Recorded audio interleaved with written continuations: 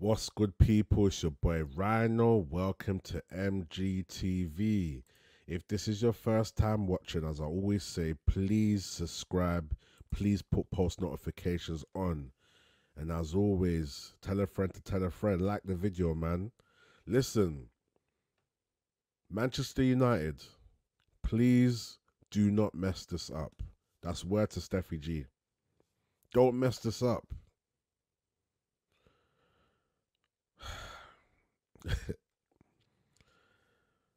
First, we have the situation with Højlund and his back injury this week, and us hearing all these new pieces of news. And now we've got this palaver with West Ham and Manchester United. Obviously, I've seen reports of the fact that West Ham are looking at um, James Ward Prowse. And if you ask me, if I'm going to pick between James Ward Prowse and McTominay, it's not even a question. So if now West Ham are looking at James Ward Prowse instead of McTominay, what is this McTominay deal done? What what are we saying, people? You know. Listen, let me just pull up the news. So first we have. Let's pull up the McTominay news first. Let me show you guys what we're working with right now.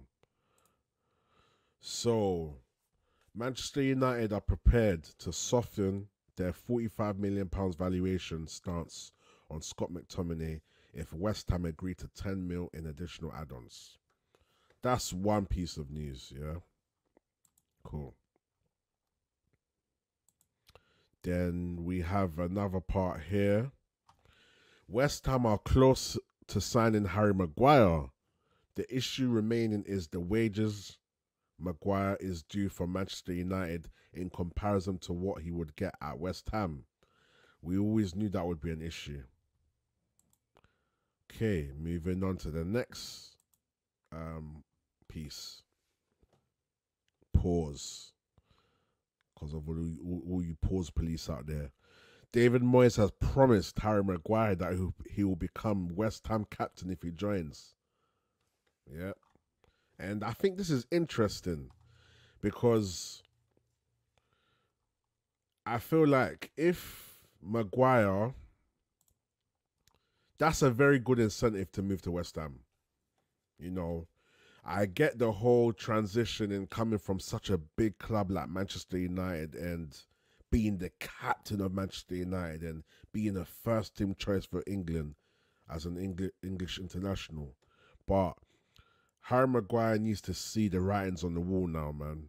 And if you've got a chance to be West Ham captain and be kind of like the best, I don't know if he wants to class himself as one of the best defenders for that club and represent that club and hold them up high. He's going to have to lower his pride, man, and just move on and accept the situation that he's in. You feel me? Um, yeah, man. I just feel like the time's up for him, but what are Manchester United doing? That's that's this is my issue. Like, I know we're kind of haggling with the price, but we need to let these players go. Number one, because the season starting next week and we have to we have to get players in. And number two, just to start this whole refresh with okay, you know, all the players are out. Let's just move forward and start focusing on focusing on the season. Literally. Um what else is there? Let me read a few points that I have here. Um, and then we can kind of speak about it. Let me see something. Um, okay, cool. So let me share this um, page as always because I like you guys to visually see it. So here we have um so, West Ham will have to pay 85 million pounds to sign Harry Maguire and Scott McTominay in a double deal. A compromise can be reached between West Ham and Manchester United for Scott McTominay worth around 40 million pounds. Manchester United have three or four transfer targets at both centre back and central midfield in case Harry Maguire and Scott McTominay leave. West Ham and Manchester United are not far away from agreeing a deal for Harry Maguire, there is optimism that the deal will be done. Um, And another part here. Talks continue between West Ham and Manchester United over Harry Maguire and Scott McTominay. West Ham are closer to a compromise for Harry Maguire than Scott McTominay. And that's what I kind of wanted to get into next.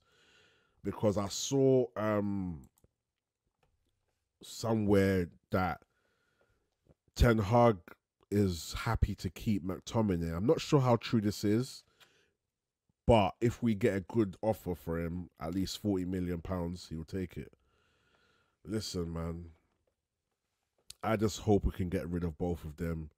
You know, let them move on. They're not right players for this club. They're not first choice. Accept the situation and move on, you know.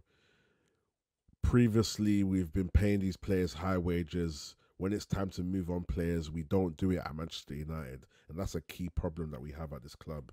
So let's just hope. If Maguire and McTominay go, I'm telling you, I'm screaming Murtough madness just for just for the outgoings.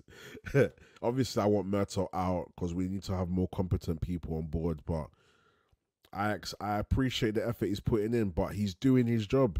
He's doing this job he's supposed to do. So because we've been starved of competent work. Now he's actually competent. It feels like it's a miracle. But realistically, he's doing the standard. I'm just trolling like when I say this whole Murtough madness stuff. But you know, it will be a big change for Manchester United if we can get rid of Maguire, get rid of uh, McTominay. Fred apparently is definitely leaving, as I've always reported. Um, who else? And Van der Beek. That's four exits plus Elanga, five. Elanga's already gone out the window. So if we can get five exits, I think that's the most I've ever seen, like I said. So let's just hope, man. But um please, Man United, don't mess this up, man. Um, especially if West Ham are starting to look at Ward Price, Ward, Ward Prowse. Once that situation advances, none of these players are going. I think Maguire might still look like he's going, but McTominay, I want him to go as well. So listen, United, let's just hope we can um, nip this in the bud and get both of these both of these players out, man. Because at the end of the day, man, we need to start moving forward. We're looking at um Todibo, we're looking at Amrabat. Let's get these players gone in United, man. Please don't mess this up. And that's the message I have. And that's it, to be honest. There's nothing more, nothing more to comment on. Let me know what you guys think in the comments, man. Um, yeah, this is where it is at this point. So be sure to like the video if you haven't already. Please tell a friend to tell a friend. And make sure you subscribe with post notifications on. It's your boy Rhino and I'm out. Peace. Hey, I swear firms and rents pattern this.